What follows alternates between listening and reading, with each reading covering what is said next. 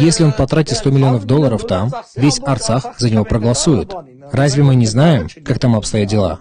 Какие 100 миллионов? Если он даже потратит половину и не заставит, они сами с радостью проголосуют. Потому что скажут, смотрите, этот человек приехал из России. А мы помним, что Россия выступает в Арцахе в виде священной коровы.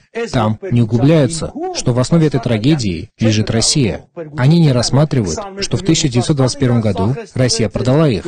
70 лет они мучились. Эти две войны были продолжением всего этого. Но в последнее время они заявляли об этом. Они немного касаются этого, берут отдельно последний период. В целом, на исторические явления необходимо смотреть шире. Если берешь за основу то, что войну 20 -го года остановила Россия, да, это момент хороший. Но кто начал эту войну? Кто продал оружие на 6 миллиардов долларов? Кто сдал территорию? Да, кто сдал? Россия. Я думаю, Рубен Вартанян будет не основным, но одним из основных кандидатов в Арцахе на ближайшее время. А затем подлинной целью, естественно, является Армения.